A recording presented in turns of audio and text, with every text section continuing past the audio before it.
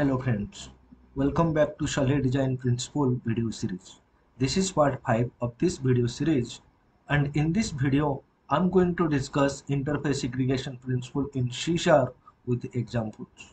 Please watch our previous video where we discuss Liskov substitution principle in C Sharp. The letter I in solid stands for interface segregation principle which is also known as ISP. As part of this video, we are going to discuss the following pointers. First, we will discuss what is interface segregation principle. Then we will see one example without implementing the interface segregation principle. Then we will identify the problems if we are not following the interface segregation principle. And finally, we will see one example implementing interface segregation principle. Before, before proceeding with the examples, let us first understand the basic definition of interface segregation principle. The basic definition of interface segregation principle states that the client should not be forced to implement any methods they don't use. Rather than one fat interface, numerous little interfaces are preferred based on groups of methods with each interface serving one submodule. Let us break down the above definition into two parts. The first part tells that no client, that is no class should be forced to implement any methods of an interface they don't use.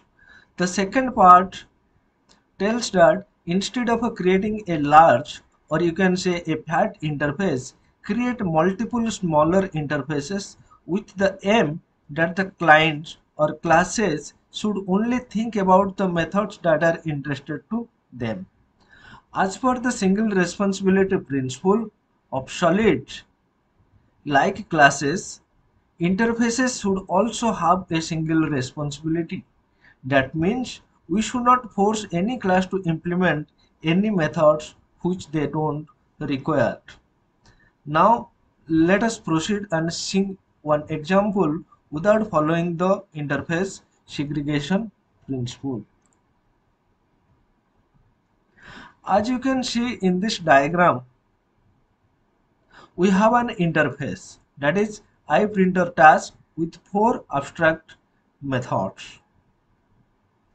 Now if any class want to implement this interface, then that class should have to provide implementation to all of these four methods, right? So this interface that is iPrinter task having four abstract methods and if any class want to implement this interface it means that class needs to provide implementation for this print scan fax and a print duplex method right? As you can see in uh, in the uh, in this diagram we have two classes. One is HP LaserJet printer and another is liquid inkjet printer, printer right the HP LaserJet printer implements the iPrinter task interface as well as linked uh, liquid inkjet printer also implement the iPrinter task interface, right? The HP LaserJet printer wants all the printer services, right? He wants print, scan, fax and print duplex method and it makes sense that HP LaserJet printer, HP LaserJet printer in uh, class implement the iPrinter task implement uh, uh, interface and provide implementation for print, scan, fax and print duplex method. But the liquid inkjet printer doesn't require all the printer services. It only requires the print and scan services, right? But as this class implement the iPrinter task interface, it is mandatory for this class to provide implementation for fax and print duplex method even these methods are uh, even these methods are not required by this class right? So let us open visual studio and see this practically so far what i have done is i have created one console application with the name isp to our existing solution and then i make this uh, console application as the startup project. Then i created one interface with the name iPrinter task, right? And I created this interface with four abstract methods. That is print, scan, fax and a print duplex. Then I add a class file with the name sp ledger jet printer right and this class inherited from the iprinter task interface and provide implementation for all the four methods that is print scan fax and print duplex that is fine as this class want all the printer services next i add another uh, class file with the name liquid inkjet printer and this class file also implement the iPrinter task interface. This class wants only the print and scan service of the printer.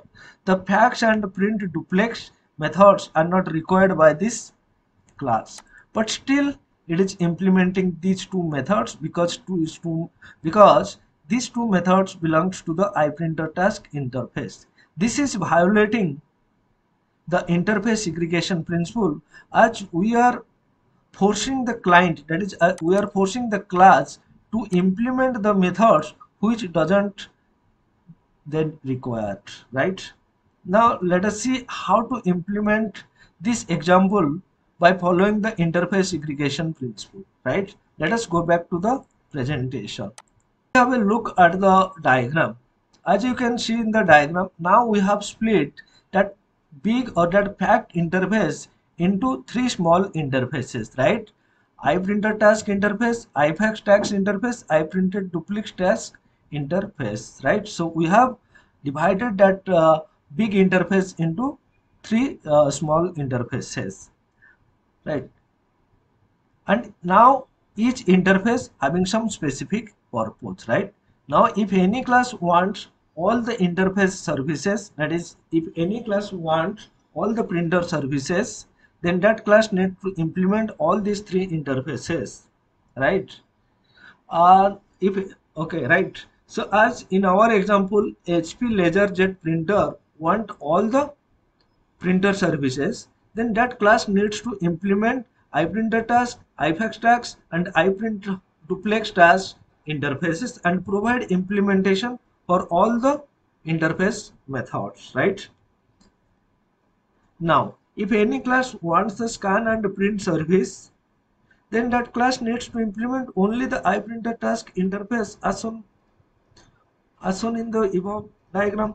As liquid inkjet printer wants scan and print printer services, so this class implement only the iPrinter task interface and provide implementation for a print and a scan services right? Let us implement this practically. To do so let's move to the visual studio right? Currently the interface uh, currently we have one big interface. Let's uh, divide this interface into three interfaces right? So we have created three interfaces iprinter task ifax and iprinter duplex task right? So now HP LaserJet printer HP LaserJet printer want all the printer services so it should implement all the interfaces.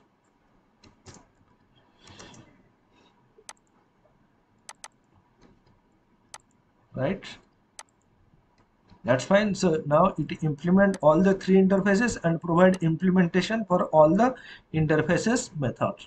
Now this class wants only the iprinter task services that is print and scan. So it doesn't require these two methods. So let's remove these two methods from liquid inkjet printer and let's go back to our program class. Now you can see using HP laserjet printer object you can access all the four inter all the four printer services.